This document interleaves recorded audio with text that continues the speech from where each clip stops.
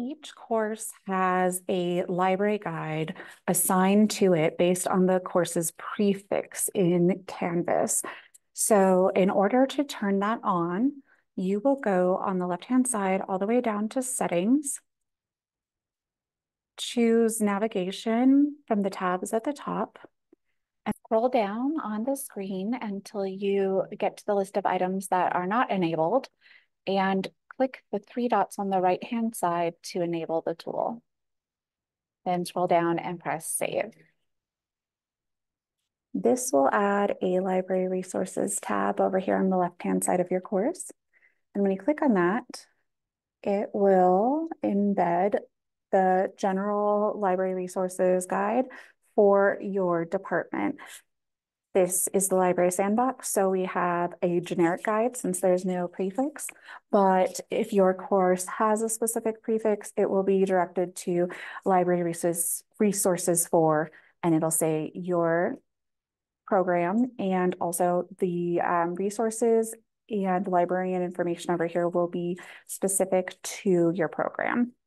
Additionally, if you would like to add any library resources into your course as part of a module, you can click on the plus sign. Again, you'll um, change this drop down to external tool. You'll scroll down to library resources.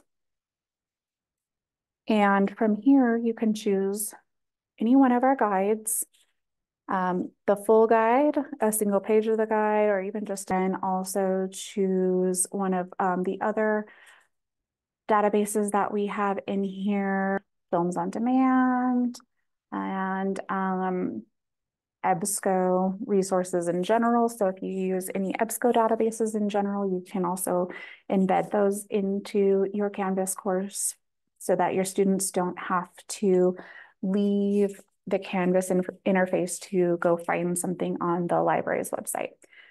So if you wanted to add a video from Alex Street, you um, can just search right in here for um, whatever topic, and then you can um, choose that and it will be embedded.